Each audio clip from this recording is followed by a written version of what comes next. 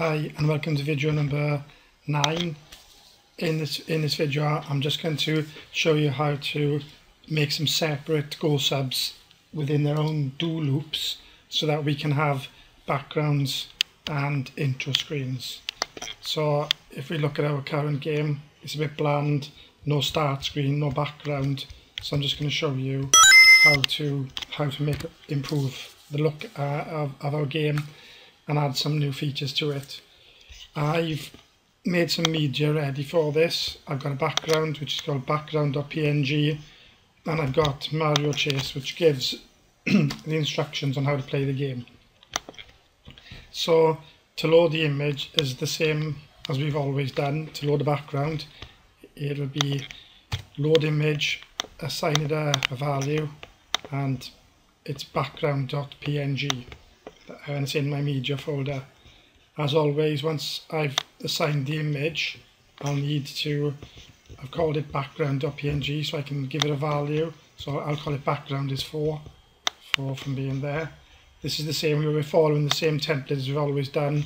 Load the images, set up the variables, and then um, the last thing to do is create the sprite. So we'll need to do create. Create sprite. And its background number four. So that's how a, a sprite created. I don't when I've been creating sprites in the past, I've been putting an enemy and then I've been saying where the enemy X position and the enemy Y position is, where to place them on the screen. If, if I don't set the sprite position, so where it says enemy X and enemy Y, it, re it references these two points here. I'm not, I'm not going to decide where to place them because if, if you if you don't set the sprite position, it'll automatically assume the top left 0, 0 on the top left of the screen. So, and I want my graphic to appear in the top left. I've set the graphic so it's an 8 by 600 resolution. So it'll start in the top left and fill the screen just as I want it to do. So now that I've um, made, made that change, I should have a background in my game.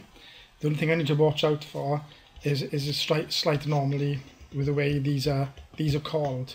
So if I now compile this and I run it, you'll notice that my background is there, my text is there, but in the background I cannot see my characters. The background is appearing over the over the game and in, in the background the enemy caught me a few times and then, then I died. So basically this is being called at the wrong place. So if I if I call it sooner, so if I delete it from there and put it here, now compile it. So call a background before the others, and I run it. You'll now notice that I've, that I've now got a background playing and it, the whole the whole game looks a bit better. So that's the uh, background done. What I'd now like to do is, is to put a game intro. Now, if we're going to do a game introduction, we want to, to, to put a splash screen up, but we, we will not want it to, to happen within our do loop. We, we won't want it within there because we'll want before we'll want to start something before our game starts. So when we're playing our game, the, our game is within here. This is where we move the player, quit, coin collection, enemy chaser, and, and, and dying. So if we're going to have a start game screen, press the spacebar to continue, we'd need to call our Go sub outside of this, but we'd still need a Go sub. So um, the first thing I need to do is load the, the image. So I've already done that there, which is called load image. I've signed in number five, and it's called mariochase.jpg. Now, I don't need to um, declare the variable here, I'll need to declare that within its own um, Go sub, which I'm about to do. All will become clear when I show you this screen. So here's the game intro. I'll copy this text in and we'll see. So go right to the bottom.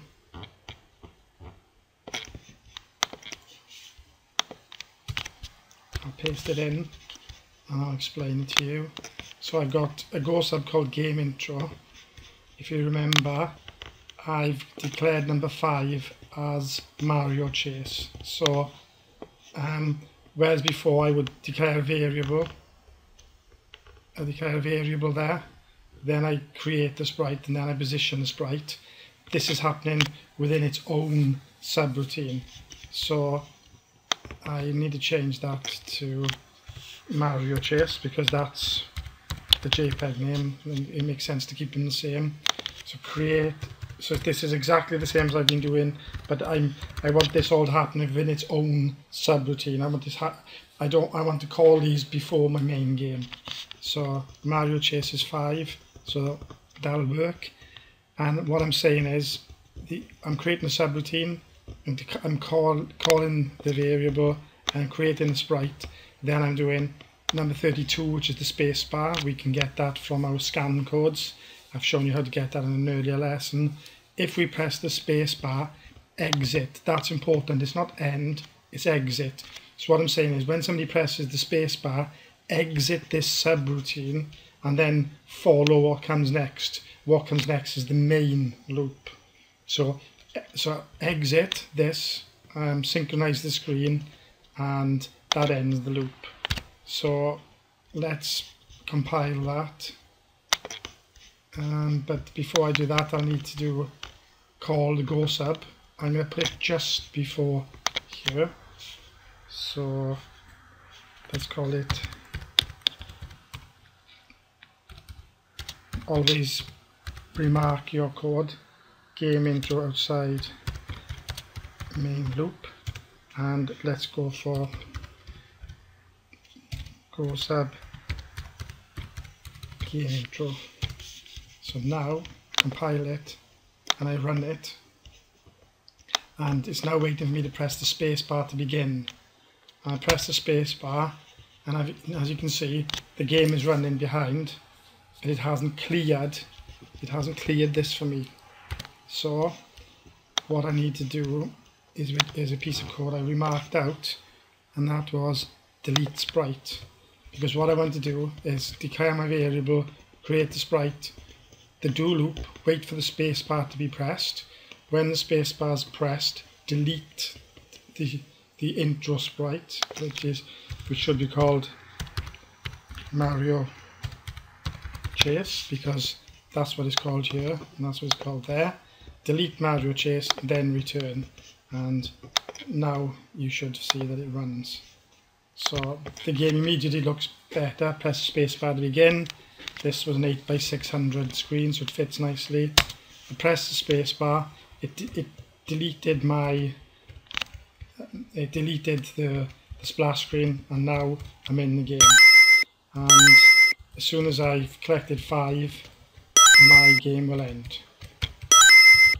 Um, and that's it. Game over.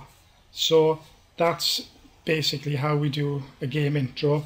It sits just remember that it sits outside the main loop and we can we can declare the variables and the create sprite within it.